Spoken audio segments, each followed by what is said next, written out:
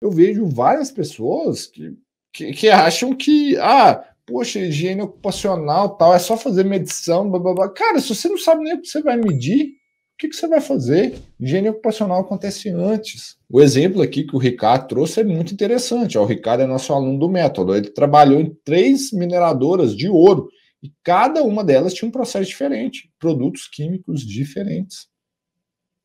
Muda, gente. Senão você fazia um PGR só para todo mundo.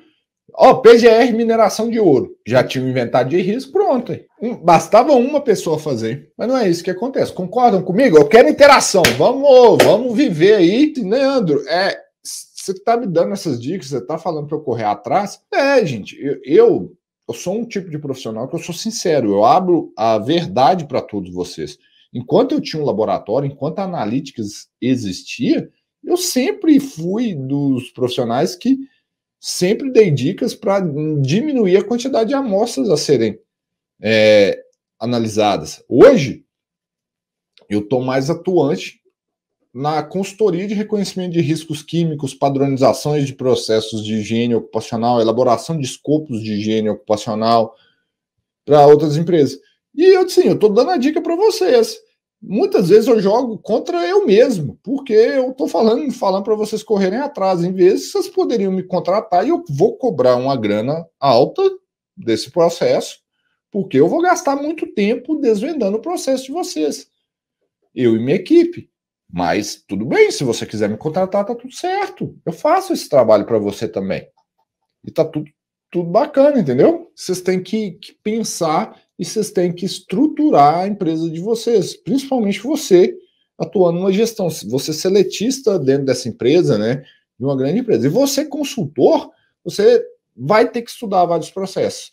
Você é um consultor, tá? É, ou você se especializa numa área afim, o que eu não recomendo você fazer isso, ou cada caso é um caso e você vai ter que correr atrás para estudar a, a, as informações e buscar isso, uh, os dados que você precisa para executar seu serviço. Vou ser bem sincero com vocês.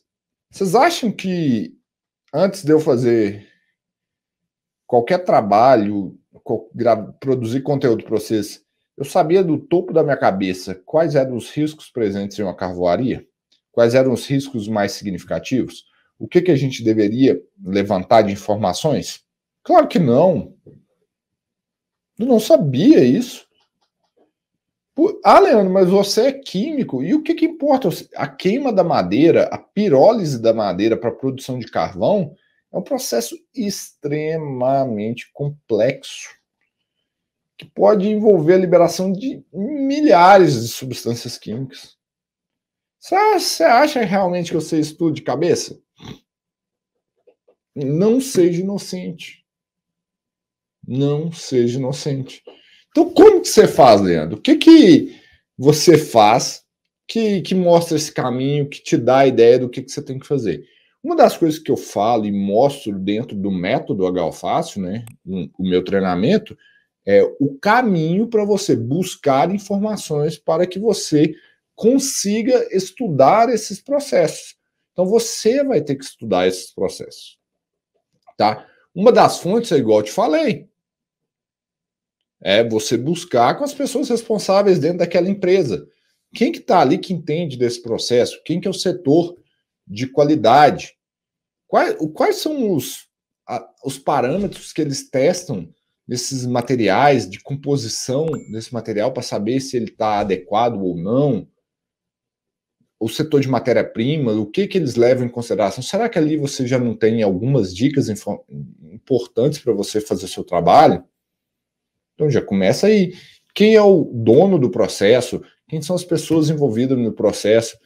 É, um, é o primeiro caminho que você tem que buscar. Ah, numa carvoaria, Leandro, você fez isso para uma carvoaria? Claro que não. não.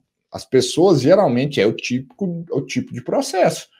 Na indústria da carvoaria extrativista no Brasil, você acha que tem alguém que entende, domina aquele assunto completamente? Não. Então, como que você faz, Leandro? E aqui vai a dica ouro. Que, ó, o que eu estou passando para vocês é, inclusive, o que eu falo dentro do método H-Fácil para os meus alunos. O pessoal não me deixa mentir.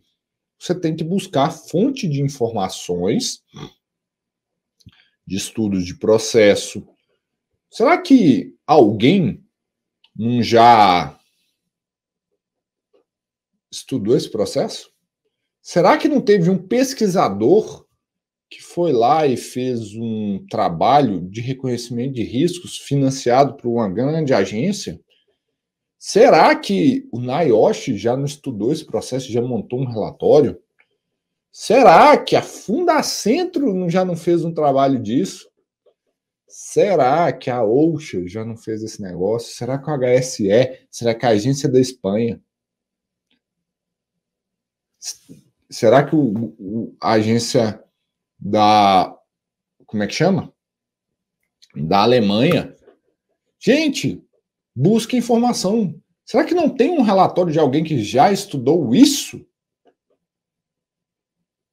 Poxa vida! Quantos livros de processos de segurança de processos não existem que falam de prováveis compostos tóxicos que são gerados em, em determinados processos? Tem essas questões lá. Várias coisas você vai buscar essas informações. Você vai correr atrás de dados para embasar a sua conclusão. É buscar essas informações. Cavoaria é a mesma coisa. Eu, eu costumo fazer uma, uma analogia, uma comparação que o higienista ocupacional é, é, é um médico. Então, quando você vai no médico, vamos supor, o médico vai te dar o diagnóstico da sua doença. Então você vai lá, o cara vai fazer um exame para você, ou ele vai fazer uma cirurgia em você, etc. Esse médico, ele precisa ser o inventor daquele método cirúrgico, inventor do diagnóstico, inventor daquela máquina, ou ele tem que saber operar aquela máquina? Ou ele tem que faz, a, a saber fazer uma cirurgia, ou ele tem que saber fazer um diagnóstico. Ele não precisa ser o cientista por trás, não. Ele pode buscar conhecimentos anteriores, usar informações de, anteriores de pessoas que são que desenvolvem essas metodologias e ele aplica no seu dia a dia. Nós somos a mesma coisa. Existem os higienistas ocupacionais que são pesquisadores, são pessoas com um conhecimento muito aprofundado e, e vão atrás de informações que vão buscar esses dados. Esse é o higienista ocupacional com perfil de pesquisador. Esse é o Leandro? Claro que não. O Leandro não é um pesquisador. O Leandro é um aplicador prático da ciência. Eu uso a ciência ao meu favor. As pessoas fazem as pesquisas, eu sou um cara estudioso e eu uso o que essas pessoas fizeram para fazer os meus reconhecimentos de riscos. Aonde mais você busca? É, revistas científicas da área de higiene ocupacional, dentro da CGH, dentro da AIA, por exemplo, The Synergist, dentro da AIA. São todas fontes de informações. Será que não tem um artigo, gente? Não tem um pesquisador que já fez esse, esse negócio? Então você vai pesquisar, galera. Higiene ocupacional é ciência e arte. Se é ciência, você tem que estudar.